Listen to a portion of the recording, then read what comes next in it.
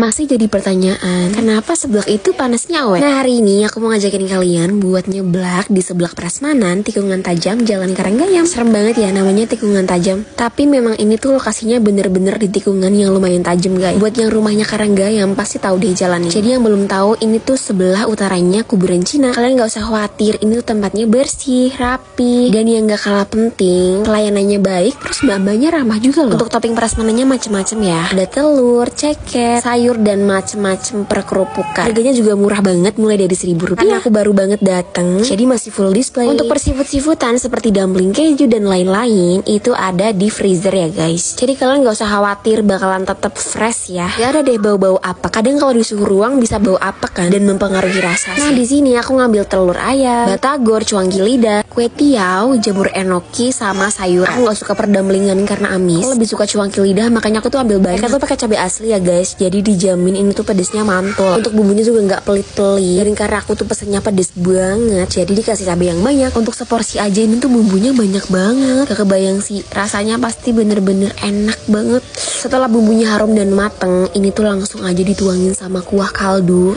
Aduh ini nggak sabar banget deh pengen nyicipin seblaknya. Kayaknya ini pertama kali deh aku lihat tukang seblak sambelnya tuh nggak pakai bubuk cabai tapi bener-bener pure cabai mana ini warna seblaknya menggoda banget lagi. Kuahnya tuh bukan yang warna merah banget tapi dia tuh warna oranye aku ngedit aja nih sambil ngiler loh guys pengen makan seblaknya lagi. Karena udah mateng langsung aja dituangin ke mangkok. Masya Allah seblak tikungan tajam bener-bener ya. Kok bisa sih mereka nyiptain seblak kayak gini? Nah ini dia seblak aku udah jadi. Coba kalian lihat dari penampakannya.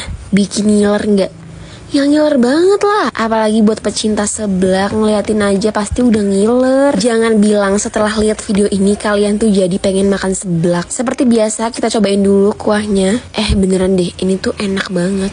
Kayak rasanya tuh pedes Gurih. Gurihnya tuh gurih kaldu gitu. Bumbunya juga kerasa banget. Kencurnya juga sedeng Dia tuh gak terlalu nyegrok banget. Terkadang kan ada kan yang kencurnya tuh bener-bener nyegrok banget di tenggorokan Tapi ini tuh enggak. Gimana ya jelasinnya? Ini tuh enak pedes gurih. Menurut aku ini kalau pakai nasi bakalan enak banget sih. Terus ditambah sama mendoan. Aduh, aku tuh kalau makan sesuatu yang pedes, seger, gurih, jadi keinget sama nasi dan gorengan. Jadi nggak heran lah kalau badan aku tuh. Kayaknya aku bakalan langganan seblak di sini deh. Mana deket banget lagi sama rumah aku. Paling kalau naik motor nggak sampai 5 menit deh. Sumpah ini aku tuh baru tahu kalau ada seblak seenak ini di deket rumah aku guys. Minumnya es nutrisari jeruk peras beh. Pokoknya ini dua combo yang wajib ada. Ayah btw kalian tuh tim mie atau kue tiaw? Kalau untuk aku sih, aku tuh tim kue tiaw ya. Karena yang jelas tuh lebih lembut dan dia tuh nggak nyerap air. Jadi kalau makan tuh tinggal seruput aja. Hati-hati banget kalau makan jamur enoki. Terkadang kalau makan jamur enoki tuh suka kalau loading jadi makanya tuh harus hati-hati sambil menikmati. Ini dia favorit aku cuangki lidah nggak tahu kenapa rasanya tuh enak banget. Makanya buat cuangki lidah sama batagornya aku tuh ngambil dua-dua guys. Udah mau habis aja nih sebelah aku. Gimana kalian ngiler nggak sama sebelah ini? Oh ya kalian tuh bisa pesen versi nyemek atau versi kuah ya. Dan karena aku tuh seneng yang berkuah-kuah jadi aku minta untuk versi kuah. Yang udah habis kan sebelaknya,